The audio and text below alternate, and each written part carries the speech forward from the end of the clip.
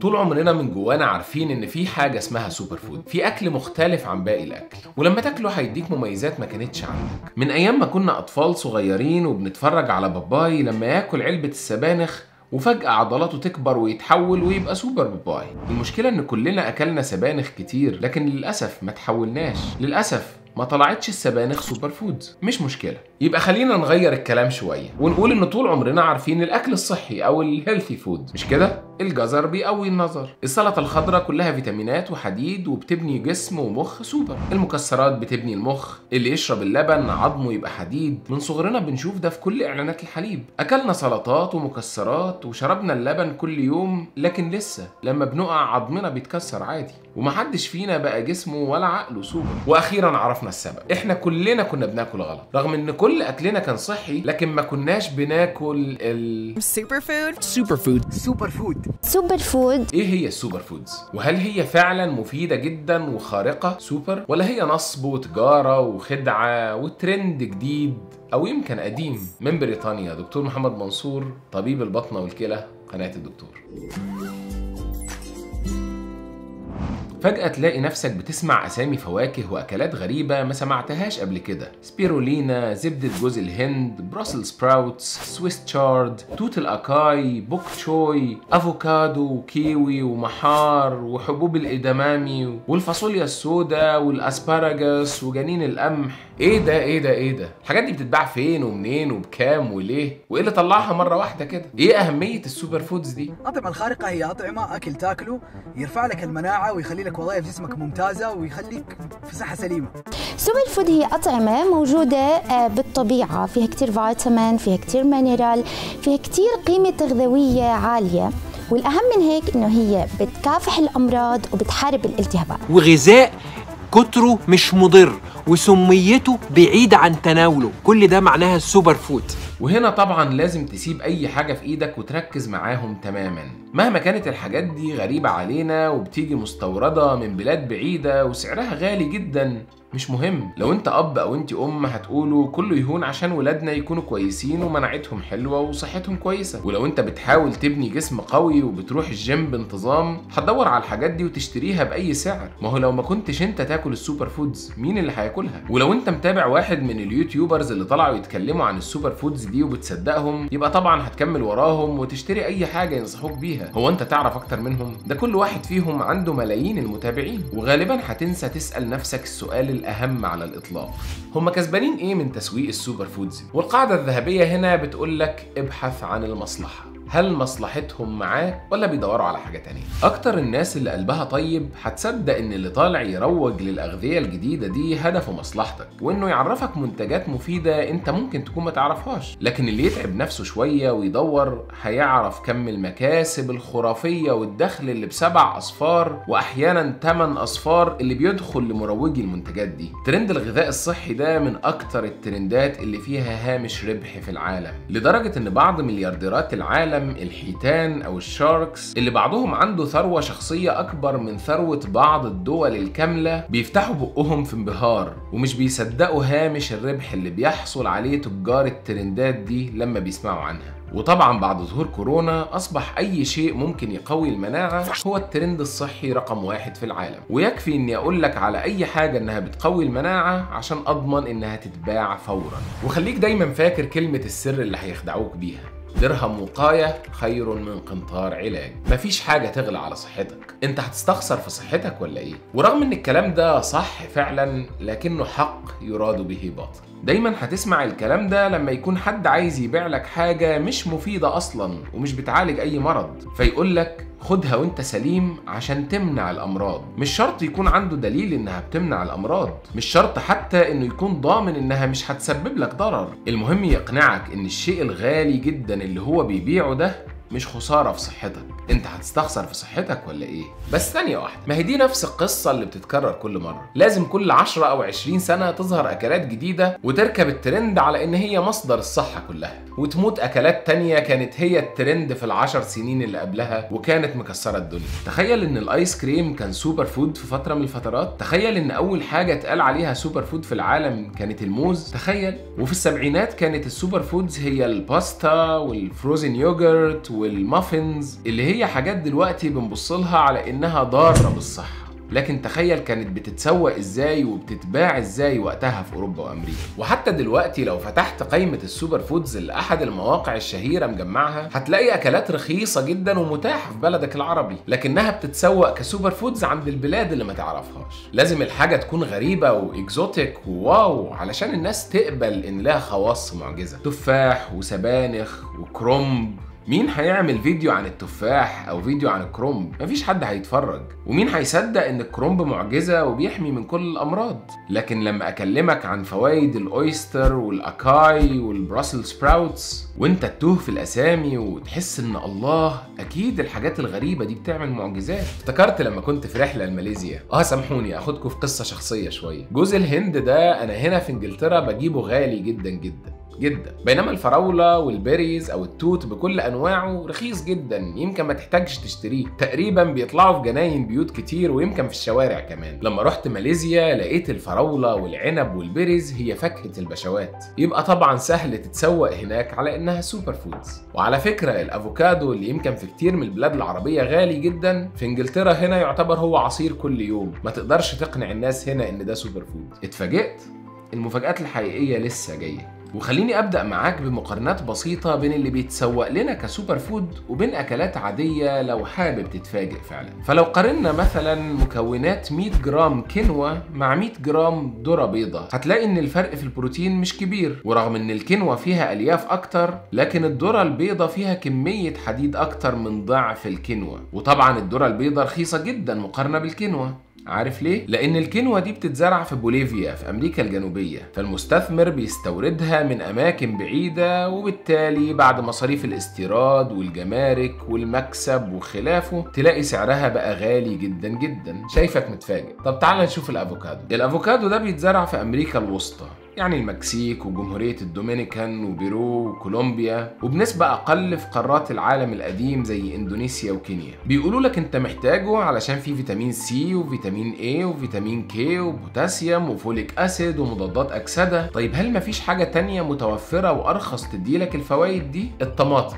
أيوة الطماطم. الطماطم اللي محدش بيحترمها دي. فيها فيتامين سي وفيتامين A أكتر بكتير من الأفوكادو. وفيها فيتامين كي تقريبا قد اللي في الأفوكادو. هتقولي بس أنا بجيب بجيب الأفوكادو عشان دي فاكهة دهنية ومحتواها من الدهون الصحية كتير. أو أنا بعمل keto diet ومفيش فاكهة زي الأفوكادو. للأسف مش حقيقي. لو أكلت شوية زيتون أخضر في حجم ثمرة الأفوكادو هتلاقي إنهم تقريبا نفس نسبة الدهون. لكن كمان أقل في السعرات الحرارية وأقل في الكربوهيدرات. وأعلى بحوالي 15 مرة في كمية الحديد. غير فوائد تانية كتير. وعلى فكرة محتوى الأفوكادو من مضادات الأكسدة مش كبير زي ما حضرتك متخيل. ولأنه محتاج ظروف معينة لنموه وبيتسقى بكميات كبيرة من المية مقارنة بمحاصيل تانية زي الطماطم والزيتون. فطبعا حضرتك اللي بتدفع كل التكاليف دي. نقول كمان سمعت عن حبوب الشيا أو ال chia seeds؟ بيقول لك إنك محتاج 15 جرام منها تقريبا كل يوم عشان تاخد كل الأوميجا 3 اللي أنت محتاجها. تمام. بس على فكرة تقدر تاخد نفس كمية الأوميجا 3 وأكتر لأنك تاخد شوية حلوين كده من الجوز أو عين الجمل. ودي طبعا متوفرة أكتر وغالبا أرخص في البلد اللي حضرتك فيها.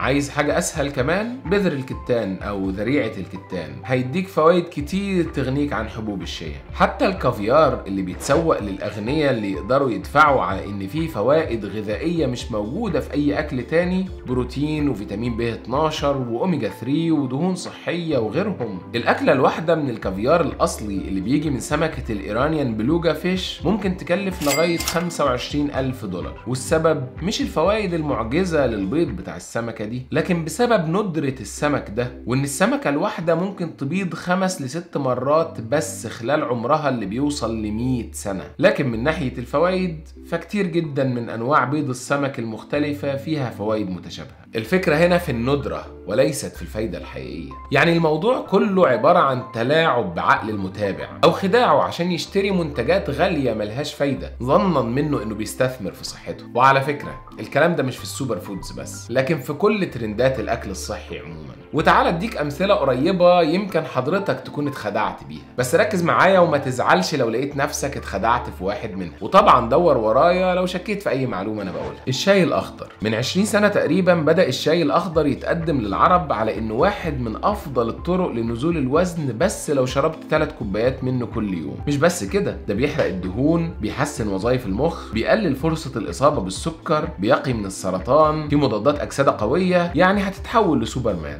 وفعلا الناس المهتمة بصحتها وخصوصا الطبقة المتعلمة بدأت تتجه له وتوقف الشاي الأسود. ومع الوقت انتشر في كل مكان ومبيعاته في بعض الأماكن تخطط الشاي الأسود. لكن هل فعلا كان في فرق ما بين الفوائد والأضرار ما بين نوعين الشاي؟ تقريبا لا يذكر. حتى مضادات الأكسدة اللي بيسوقوا له بيها موجودة تقريبا في كل أنواع الشاي التانية. صحيح بمركبات مختلفة بأسامي مختلفة لكن لها نفس التأثير تقريبا. تخيل إن البلاد اللي الشاي الأخضر هو اللي منتشر فيها بين العامة بيتم فيها الترويج للشاي الأسود بين الطبقة المثقفة على انه هو الشاي السحري اللي المفروض الناس تشربه. مش بقول لك تسويق و marketing ولعبة الأطعمة الخالية من الجلوتين. ورغم إن الموضوع ده ناقشناه بالتفصيل في فيديو واتضح إزاي إنها مجرد تجارة بالوهم عشان يقنع الناس إنها لما تشتري المنتج الغالي جدا هي بتستثمر في صحتها مع إنها في الحقيقة بتضر نفسها مش بتستفيد. فمحتاجين نفتكر نقطة واحدة بس في الموضوع ده دلوقتي. الأغذية الخالية من الجلوتين دي مطلوبة لحالتين بس.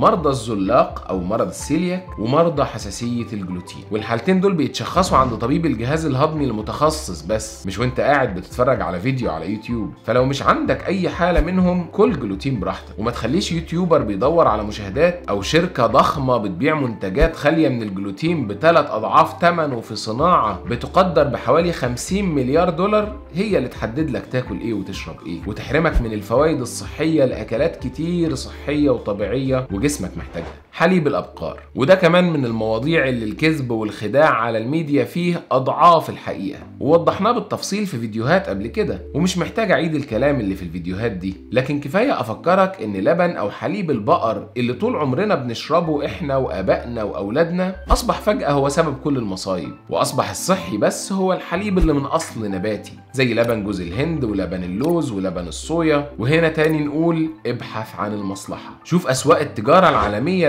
لانواع الحليب دي تضخمت إزاي؟ وشوف الشركات اللي بتكسب من لبن اللوز بس قرب 13 مليار دولار ولبن الصويا قرب 23 مليار دولار. وفجأة أصبح المزارع البسيط اللي عنده بقرة بتجيب لبن طبيعي مفيد للجسم يبيعه ويكسب منه جنيهات بسيطة. أصبح هو المضر والمؤذي وعدو الصحة ومصدر كل الشرور. مع إن العلم بيقول عكس كده زي ما وضحنا في الفيديوهات بالتفصيل. والعلم الحقيقي أثبت إن اللي محتاج أنواع الحليب النباتية هم بس الناس اللي عندهم lactose intolerance ودي نسبة بسيطة جدا من الناس أو الناس اللي ممنوعة من اللبن لأسباب فكرية أو دينية. مسحوق البروتين أو ال protein powder الطبيعي إن احتياج الجسم من البروتين بيكون حوالي 56 جرام في اليوم للراجل وحوالي 46 جرام للست. ورغم إنك ممكن تلاقيهم بسهولة في مصادر حيوانية ونباتية متوفرة لأغلب الناس زي اللحوم والدواجن بأنواعهم والبقوليات والبيض والصويا وغيرهم وممكن تاخد احتياجات يومك كله بطريقة طبيعية. لو مثلا أخدت بيضة على الفطار وعلبة لبن زبادي على الغداء وشوية مكسرات مع كوباية حليب كسناك وقطعة دجاج مطبوخة على العشاء.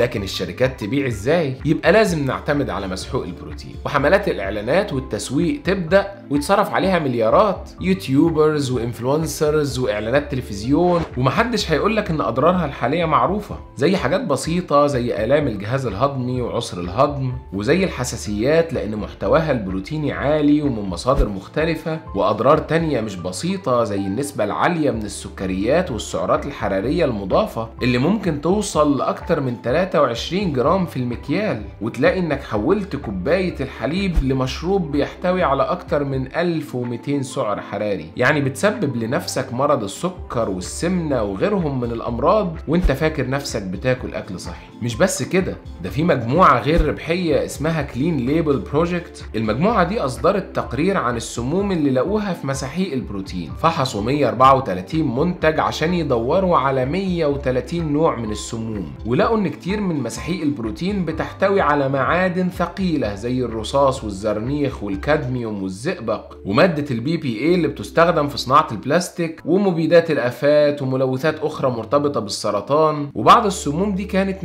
موجودة بكميات كبيرة زي إن واحد من مساحيق البروتين احتوى على 25 ضعف الحد المسموح به من مادة ال BPA وده بيحصل نتيجة وجود السموم دي في التربة وبتمتصها النباتات اللي بيحولوها بعد كده لمساحيق بروتينية. كل اللي فات ده غير إن كتير من المنتجات دي جديدة ومفيش عليها أصلا أبحاث كافية. وبالتالي احتمال يطلع لها أضرار أكتر في المستقبل غير اللي إحنا نعرفه. البدائل البنية. أيوه السكر البني والرز البني والعيش الغامق. مش عايز أطول هنا لكن عايز بس أقول لك إن الفروق بين المنتج البني والأبيض بتكون بسيطة جدا من ناحية السعرات والفايدة. لكن الفرق في السعر؟ أيوه أنت عرف. أكيد بيكون كبير جدا. المنتجات قليلة الدهون والمنتجات الخالية من الدهون أو ال fat free. ويمكن دي بقى تكون خدعة العصر واللي بسببها بيسرقوا من جيوبنا كتير على الأكل قليل الدهون وقليل السكر والمقلي بالهواء وقليل الكوليسترول وغيرهم. خدع تسويقية وفايدتها لا تقارن بالضجيج اللي عاملينه عليها. ده أحيانا كمان بيكون فيها خداع واضح. زي لما تروح تشتري زبادي fat free تلاقيهم ضايفين له 3 أضعاف كمية السكر اللي في الزبادي.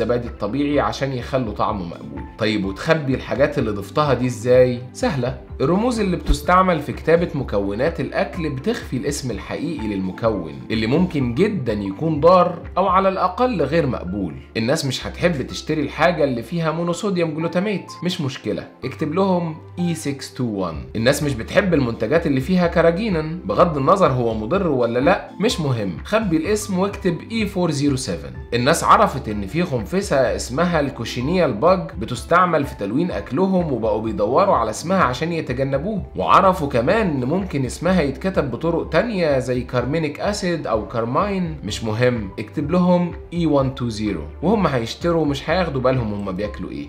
عرفت اننا عايشين في خدعة كبيرة قوي بيسوقها لنا ناس إحنا بنثق فيهم؟ الناس دي بيندفع لها فلوس كتير قوي في سبيل إقناعك إنك تمد إيدك في جيبك وتطلع فلوسك تشتري بيها منتجات مش ضروري إنها في مصلحتك. فلوس بتندفع في إعلانات وفلوس في فيديوهات اسمها نصايح طبية وفلوس من نسب المبيعات وغيره. بس مش بس كده الموضوع بيوصل لتزوير الحقائق العلمية وشراية الأبحاث. شركات منتجات خالية من الجلوتين بتمول أبحاث عن أضرار الجلوتين وشركات أغذية نباتية بتمول أبحاث عن أضرار اللحوم وغيرها وغيرها. ده غير النمط اللي لزقوه في دماغنا من خلال الإعلانات اللي بنشوفها كل يوم. زي إن شركات بيبسي وكوكاكولا دايما بتروح للعيبة الكورة والشخصيات المشهورة إن لهم جسم رياضي متناسق. عشان تكون الصورة الذهنية مثالية عن الشخص اللي بيشرب المنتجات دي مع إن في الحقيقة لو الشخص اللي بيشرب بيبسي وكوكاكولا كل يوم هو اللي كان هيمثل إعلاناتهم كان منظر الإعلان هيبقى مختلف تماما. متخصصين التغذية بينبهوا إن الأكلات اللي كتير مننا بيظن إنها صحية وطبيعية بتكون ساعات مجففة أو مرت بمراحل تصنيع أثرت على قيمتها الغذائية. والأكتر من كده إن ساعات بينضاف لها مكونات بتخليها مضرة زي السكر أو المواد الحافظة أو المونوصوديوم جلوتاميت أو بعض الدهون الرخيصة الغير صحية عشان تحسن طعمها.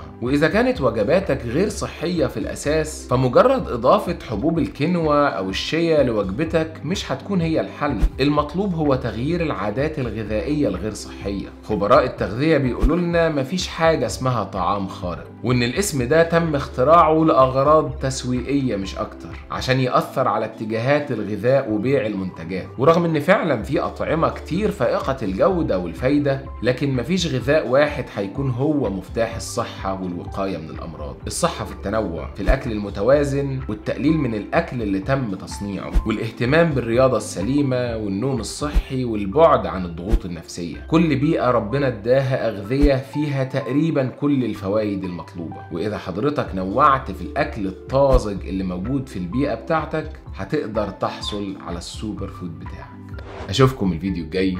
سلام عليكم.